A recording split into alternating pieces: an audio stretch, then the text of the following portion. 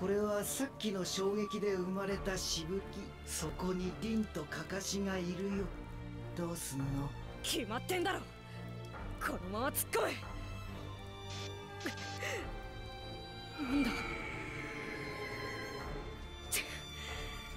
変なイメージしてんじゃねえ。んなことあるわけねえだろ。リンは俺とかかして守るんだ。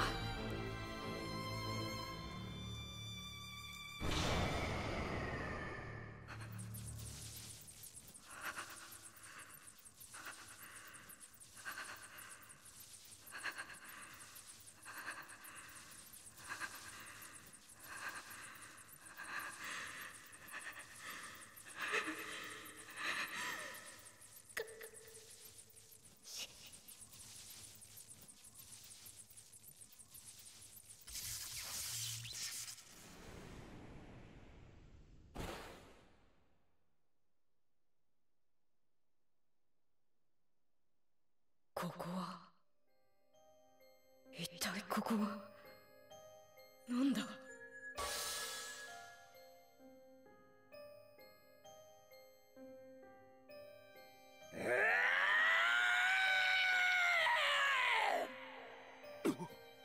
増援か？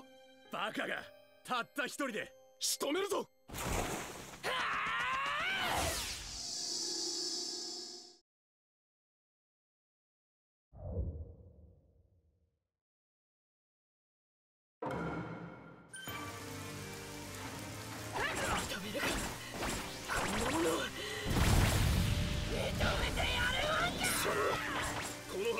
忍びだ。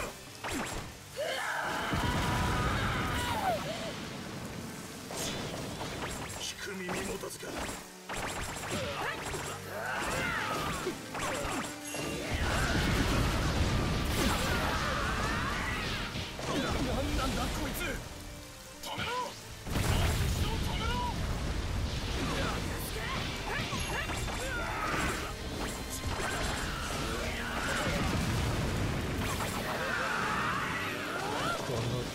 戦いぶりオビト君がマダラに選ばれた理由が分かったよ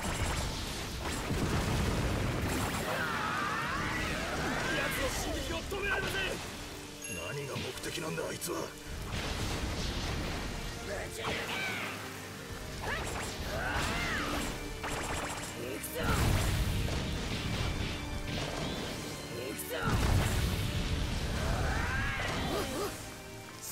の里をなめるなよ！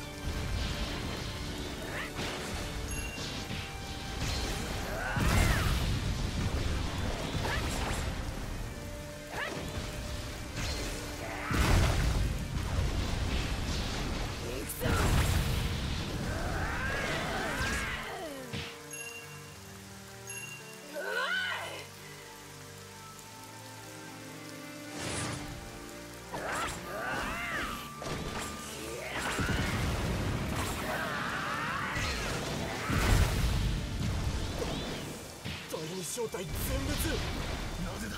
なぜこんな気がするあれは木遁あの術を使うのはこの葉隠れの初代ほかげだけではなかったのか。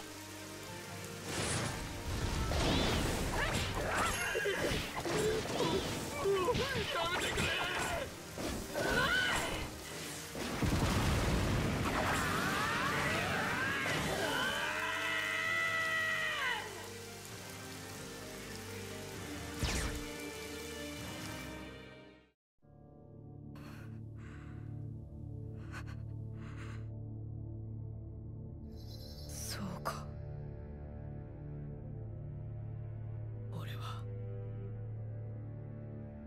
地獄にいる。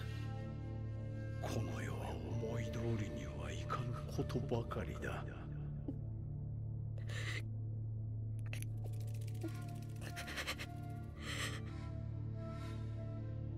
夢だから何だって思い通り死んだ人だって生きてることにできる。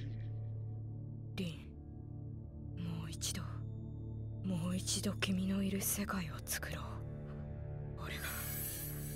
この世の因果を。断ち切るそのために帰ってきた。誰にも見られてはいないだろ見ていたのは僕だけ。帯と敵を全員倒しちゃったから大丈夫。ただカカシだけは見逃したみたい。まあ気絶してたから何も見てないけど。うなかつての仲間だけに未練が。あったか違う。どうでもよかっただけだ。この世にあいつが生きていようが死んでいようが。もうどうでもいい。これから作る世界に。カカシはいる。リンも俺に夢の世界の作り方を教えてくれ。マダラもう礼はいらん。こっちへ来い。今日からお前が救世主だ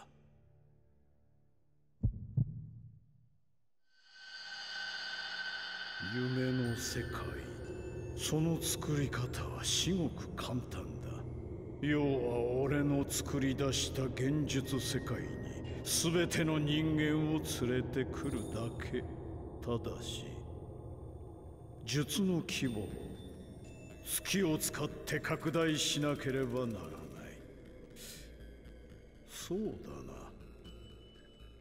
まずお前に陸道仙人と十尾について知ってもらう。そして俺の月の目計画もな。先の戦いで柱間細胞を手に入れた俺はそれを移植した。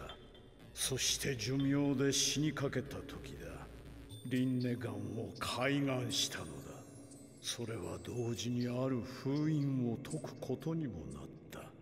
口寄せできたのだ。十尾の抜け殻下道魔像を月からな。その後すぐに魔像の体を触媒にして柱間細胞を培養したのがこれだ。こ